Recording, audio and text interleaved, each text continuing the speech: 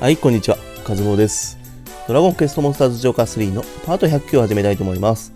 今回はですね、あの、今下にね、まあ、勝手にね、カズボマシンってつけてるんですけど、このグレートのチョーラ Z、ゴールドのチョーラ Z、プラチナのチョーラ Z のね、この3種類を使って対戦をやりたいと思います。多分ね、そんなに、まあ、どうなんだろう。まあいろいろつけてんですけどね、根に持つタイプとかね。まあいろいろ考えてやったんですけど、まあどこまでやれるか、やってみたいと思います。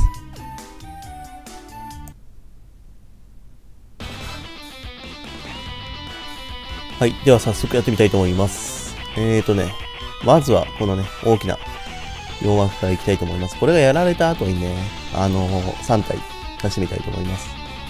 あれだけだとね、多分勝てないと思うんですよね。まあ、いわば2軍ですからね。とりあえずステルスアタックで行ってみたいと思います。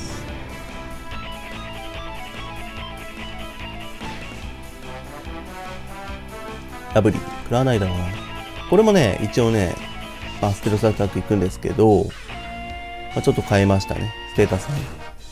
入った。お、これ亡者の執念。あ、根に持つタイプ。これであっちも落ちましたよね。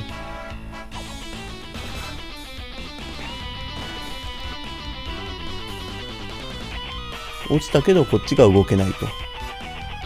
あー、これも似たような攻撃してくるんじゃない？もしかして。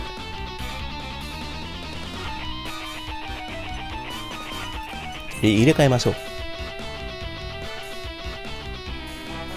はい。マシン3体。色変えましたからね。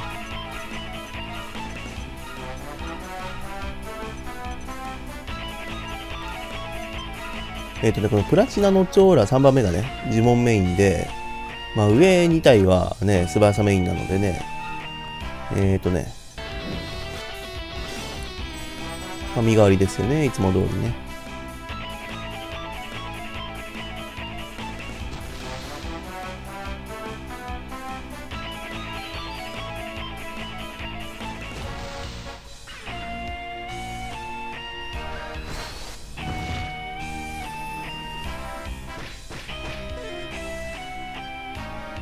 足売りの3波ね。まあ、一発ミスりましたけど、ダメージ取りますね、180でね。ミラクルソード。これ全部、メタルゴッテスに行くんじゃない？あ、そんなに食らわないですね、やっぱりね。これ全体だったらちょっとまずかったかなって感じなんですけど。わざと全体に当てて物理予測でもいいんですけどね。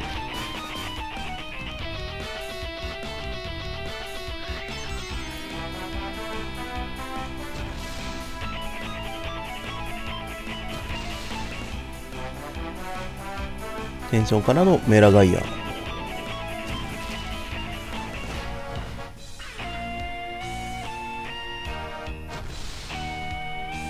AI3 回行動ついてますからね。あ、これいけますね。えーとね。やってみましょう。物理予測と、あ、メラガイア取ったんですけど、テンションで、ここは、どうしよう。遊びに参る。で、えっ、ー、とね、アイアンゲザー。やってみましょうか。ですよね。身があったら意味ないですもんね、物理予測ね。物理予測ってどのぐらい、なんだろう、跳ね返るのかな？カブト割り。あ、普通に身があった方がいいかもしれませんね。落ちましたね、プラチナ。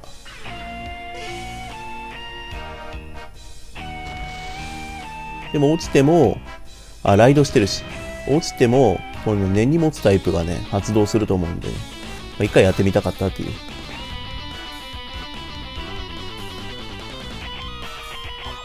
あ、落ちた。あ、でも倒せますよね、これね。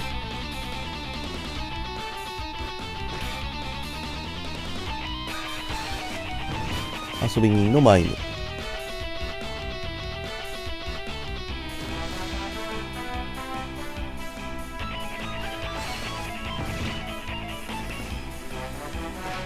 これでね4発当たってアイアンゲーザー。はい行きました。まあなんとか勝てますね。もう一戦やってみましょう。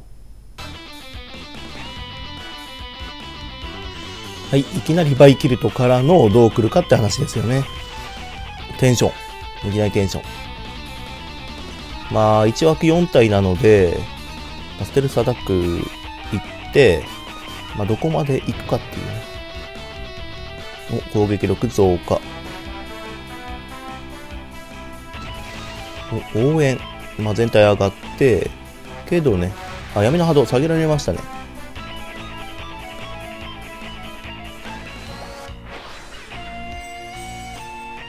多分身代わりでも、そんなに意味はないと思うんですけどね、ステルスアタックなので。ステルスアタック。お、いいね。亡者の執念。誰だ倒れたの？これもう一回ステルスアタックやったらだいぶ攻撃力下がっちゃいますよね。お、魔力の暴走。回復。ゼロゼロってなんだ？アイアンゲーザー。おー、結構効きますね。200。200最高ですよね。1枠確かアイアンゲーザーを。亡者の執念。あと2体。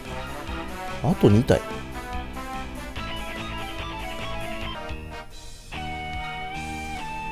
テールスアタック行きましょう。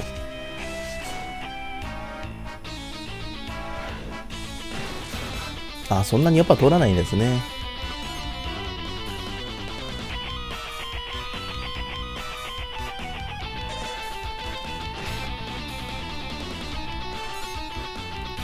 回復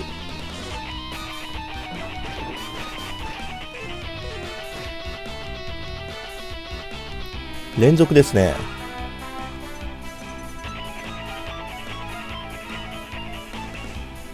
あ入れ替えた。おおアトラス？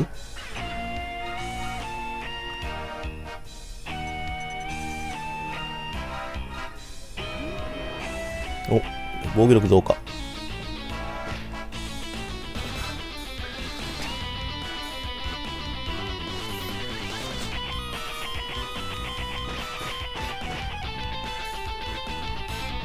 これ色的に、あ、まあ、端切りなんかやってるし。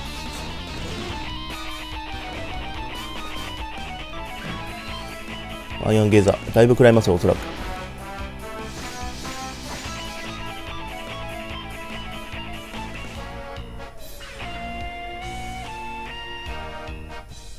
はい、カズボシリーズ。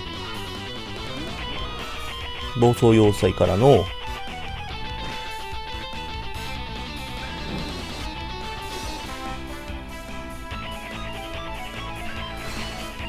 お尻の3番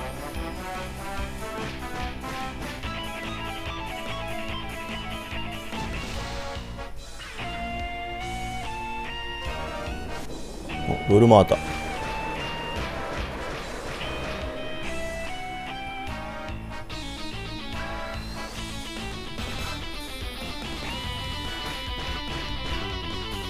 あまり取りませんね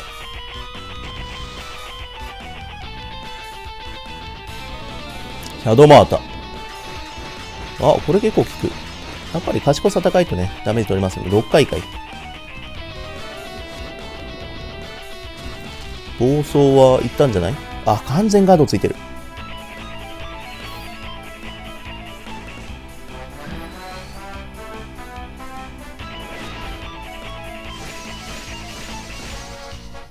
まあ落ちませんよね。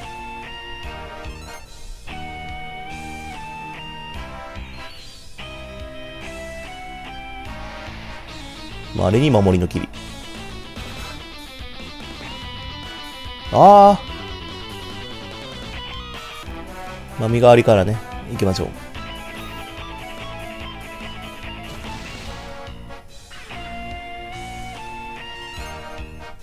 なので、ポイント的にね、これを倒せばね、元に戻るのでね。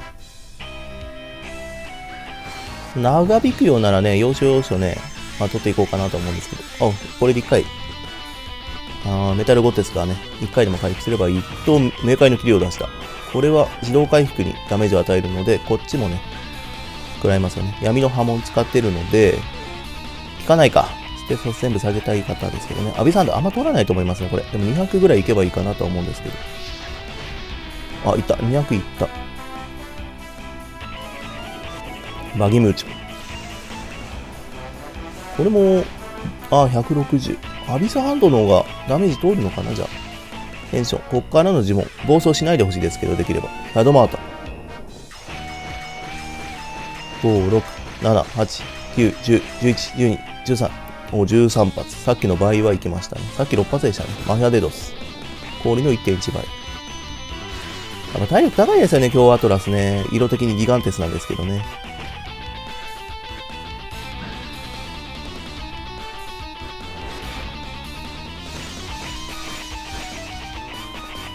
ああ、落ちるかな自動回復でもしかしたら落ちるかもしれない。身代わりでね。お倒した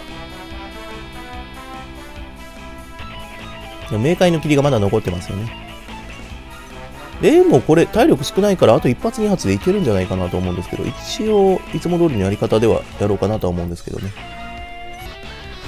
押し指のサンバと。いや、これちょっと時間かかるパターンかもしかして。は1とか言ってるし。ああ、これね。これはちょっと飛ばした方がいいかな。右のスライムゴールドがね、スライムゴールドじゃない、あれなんですか、ゴールドエンゼルが回復を持ってたら、お、倒した。回復を持ってたら長引きますね、これはね。うん、こっちも呪文のね、マジックポイントが尽きてきてるので。しかもさらに食らってると。あ、でももうちょこっとなんですよね。回復されたりして。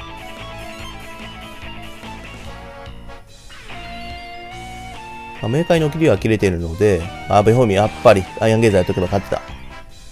なのでね、とどめがね、させるまで、まあね、そこまで飛ばしたいと思います。おそらくね、もう時間かかるので、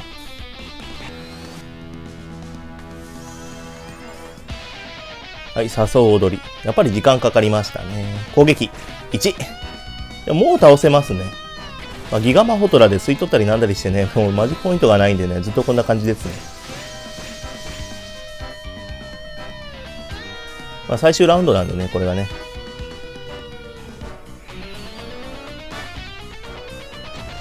落とせないです。もうこのメンバーでは。なので、ジャッジのね、勝負になりますね。はい。ジャッジ。これは勝ったんじゃないか？勝ちました。なんとかいけましたね。カズボたちは勝利したと。はい、という具合にね、まあ、勝負はついたんですけど、まあ、勝つことはね、できましたね。2戦とも。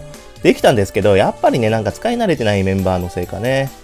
またちょっとメンバー変えたんですけど、まあ、一応ね、ついたスキルがね、あの、素早さ、これね、素早さメインなんで、この上の2体は素早さアップ。もう、装備品もね、即席でくっつけてます。なのでね、プレシアンナとかでね、あと、名もなき網の王と踊り子がついてね、これで星売りのサンバとかもつけるのでね、まあ、ここで冥界の霧が発生したのがちょっと良かったかなとも思うんですけど、あとね、こっちなんですけど、氷結の探求者と火と爆発の探求者、これね、つける予定なかったんですけどね、ニューって出たのでね、まあ、取っとこうかなと思ってね。まあ、ちょっと遊びだったのでね、今回はね。で、まあ、根に持つタイプ、最後のあがき、こう、亡者の執念って3つつけたんですけど、最後のあがきあんま意味ないですね。まあ、呪い状態になった時、更新者だとね、ちょっとね、違うかなっていうのも考えたんですけど、あんまり意味なかったです。こう、威圧もね、まあ、あんまり意味ないですよね。意味あんのかな？当たればいいのかなって感じですけどね。で、この根に持つタイプ。これがね、まあ、やられた時に相手にね、呪い状態、あの休みと、あとマジックポイントでだんだんターンごとにね、削っていくっていうね、ちょっと美味しい特性なので、これをね、ここにくっつけようかなと思うんですが、逃げ足いらないんですけどね、外せないんですよね。で、これも外すとしたら常にアタカンタなんですけどね。